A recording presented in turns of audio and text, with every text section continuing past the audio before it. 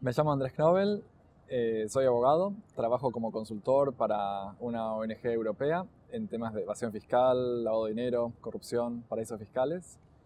Y mm, llegué al mundo de las ideas a través de un amigo que me lo recomendó, un amigo conocido de la secundaria y me dijo, conociéndome, me dijo, hay un curso que me parece que es para vos, deberías probar a hacerlo porque te va a gustar. La verdad que me encantó.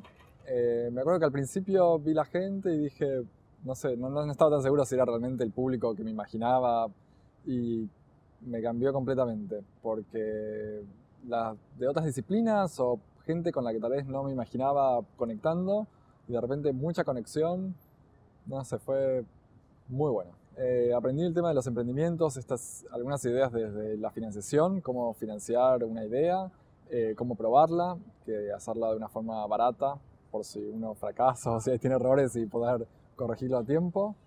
Eh, bastante de cuestiones de presentación, que realmente es una muy buena experiencia. Eh, no solo porque uno aprende, sino realmente uno lo disfruta. Como ahora creo que me va a faltar el hacer algo los viernes a la mañana, porque ya era lindo saber que todos los viernes iba ahí al curso, veía a la gente, me reencontraba. Eh, no, así que vale la pena.